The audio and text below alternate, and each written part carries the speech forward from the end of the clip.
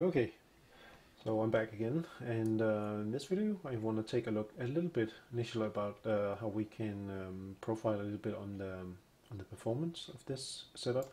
So um, before I do anything else I think I'm gonna start off by uh, uh pulling down some walls here and some stuff. And so this one and this one. And gonna size this up somewhat and like this. Okay, and then I am gonna place a ton more of these. So I'm gonna set this to maybe 0 0.7. This should be pretty high and make a pretty large brush and then start up by um, dropping a lot of these guys here.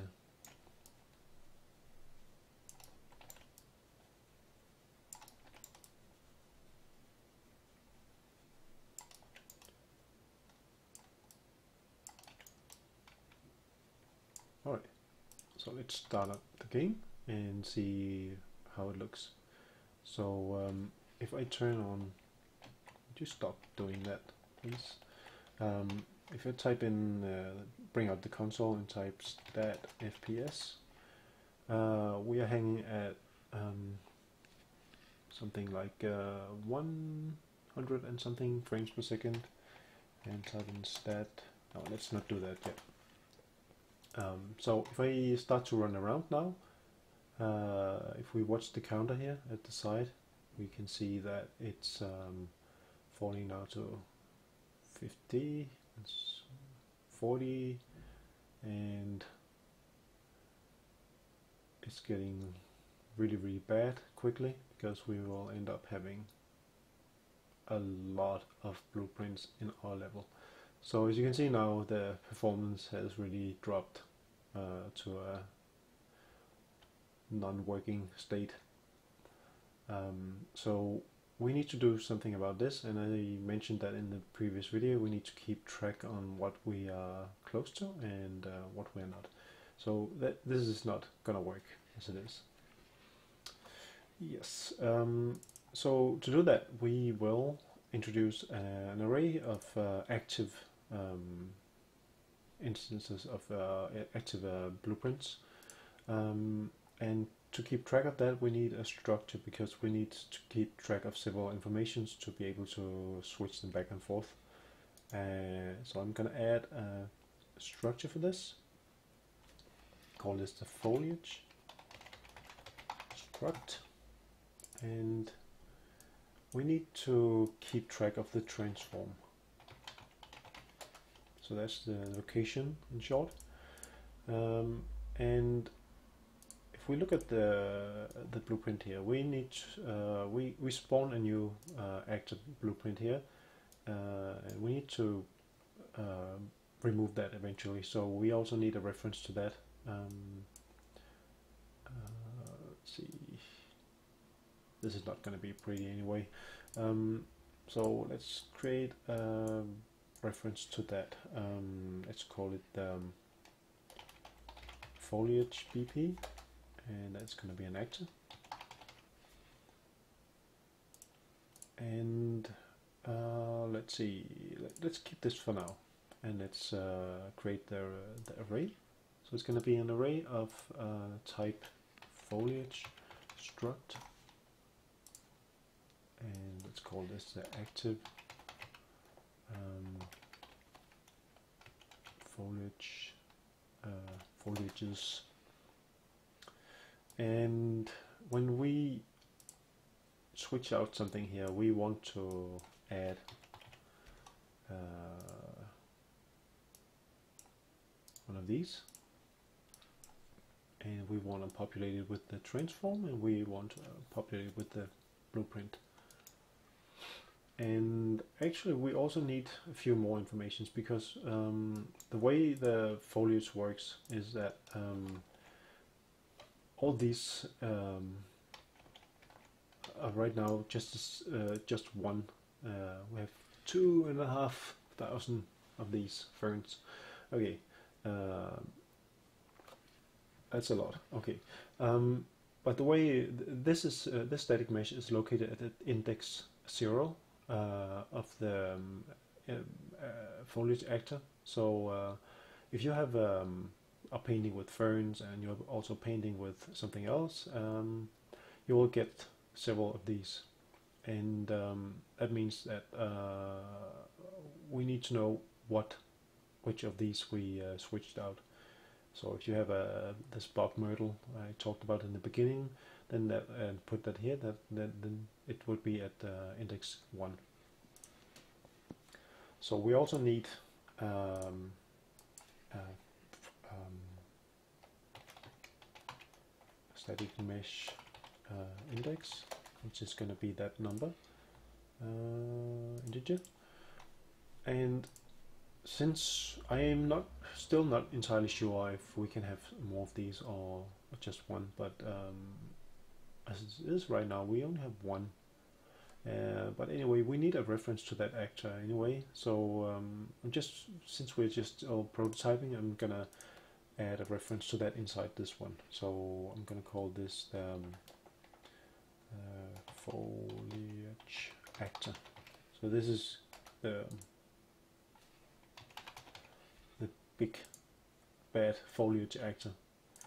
Um, so we also need to pop that in somewhere and we get a reference to that from the, the hit actor here. Um, so let's drag that one out and plug that in here. And for now, we since we only have this SM Fern 01 uh, and it's always at, zero, uh, at index 0, uh, we're just going to leave this one hard-coded to 0. And we need to figure out a way to get this index um, in a better way, but I'm not going to cover that in this video, so just um, uh, note that this is hard coded right now. Okay, so now we we're getting um, an array populated um, gradually. Um, so let's add a sequence here because we also now need to get rid of those that we don't uh, need anymore. But to uh, let's just keep um, let's just print out a debug here. Print and say we only need this for one frame and then we are interested in the length of this array see how many we have uh, uh, converted and like that. So if we play now we we haven't really fixed the problem. So we can see um, the number out here 115 at the moment is the number uh, we have of uh, blueprint actors in our scene. So let's type in instead FPS. And you can see uh, as soon as we hit something like 400, it's, uh, already it's, it's it's starting to look really really bad. And uh, are we up at 600 and it's looking terrible already. Um, so this number is just gonna keep growing and growing.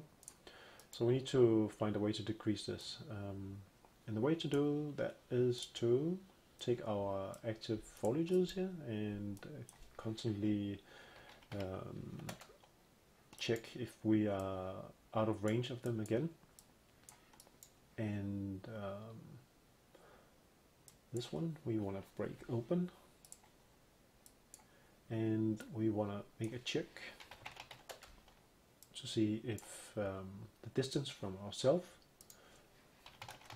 uh, we have uh, this one up here. So this is the actual location plus this little offset and so on. Um, so break that one open. Break transform and uh, let's compare this one by subtracting them. And then we want to get the length the vector length and check if this is greater than. So let's say we have 300 here so let's give it uh, like 500 400 maybe. Let's try that first see if that works out. Um, see if I can collapse this a little bit uh, anyway this is not really important um, but um, what we want to do here is to uh, let's see.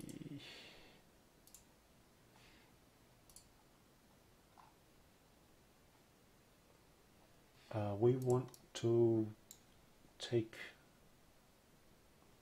well one thing we need to do is we need to uh, destroy the blueprint again. So let's start off by destroying this one. So that's the easy one. And we also need to respawn the correct uh, foliage instance static mesh. So as you remember up here we casted this to the component to an instance static mesh component. So we need to get one of these again and pop back into our um, foliage action. so the foliage ah okay. Foliage BP sorry. Good thing I saw that. So this one that's the one we want to bad naming. Uh, they all called almost the same but the foliage actor here, we need to drag out here and say um, get component by class. And the class uh, we're going to type in is the same as this up here. So it's an instance static mesh component. That's going to give us this array. And the array um, from this array we're going to get um, well, we only have one of these, um, um, so this can actually just be zero, but um, since we already feed it in with the zero, let's just connect this one up, um, right? And then we need to add uh, instance back, and we want to add it back at the transform that we saved, and we want to do that afterwards here and once that is done we just need to make sure to remove that one again.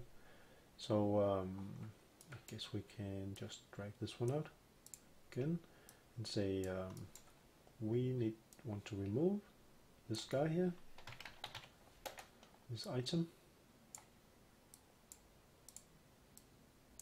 from that array.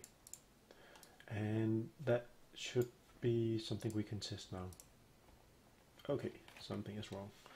Uh, 400, maybe 500? No. Um, we are not getting it back again. Why are we not getting it back again? Foliage, actor, hit, item, hit, actor. Oh, I uh, messed that one up. I removed the the instance before I I add it. So things are not gonna match up. So need to switch these two. And need to connect the instance index. Um, the instance index is going to be the hit item. And what we want to remove is the instance static mesh component. So now it should work. Yeah, much better. So we have a 3840 something, whatever. And you can see the number is constant now, or more or less constant, and um, the frame rate never drops to anything really bad um, with this approach. So um, so the well, we have a collision capsule, uh, uh, collision trace, and um, we have a few issues with the collision with the camera still. Um, but that's something we will look to, look into later. Right now, I'm just interested in seeing how we can improve this, if at all. Um, but it's something uh, we can work with, I guess. Also, uh, you want to know that this contains two and a half thousand uh, static meshes right now with um, uh, 2000 triangles each so that's quite a lot uh, to handle. And um, yeah it's still performing kind of the same as it, it did uh, before. So uh, I think that is uh, something we can continue working with and see if we can improve a little bit on.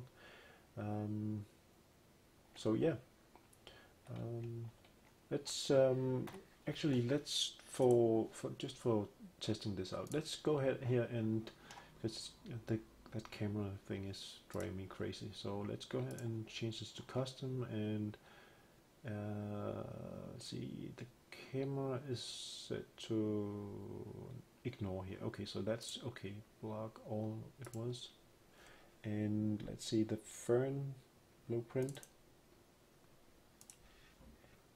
for the skeletal mesh component is set to ragdoll. If we set this to custom and set the camera to ignore, then uh, we should be able to have a pretty steady camera instead of the camera just jumping up and down. So that's just a quick fix of doing this.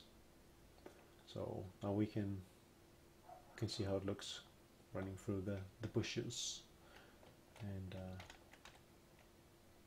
as you can see things are still popping up and making all this uh, this movement initially that's something we need to look into definitely um, and um, yeah but that's something we'll do in uh, one of the future videos. Um, I think that's it for uh, this time. Um, yeah, um, stay tuned. I will keep working with this uh, and see if we can improve on, on it. And yeah, thank you for watching and bye bye.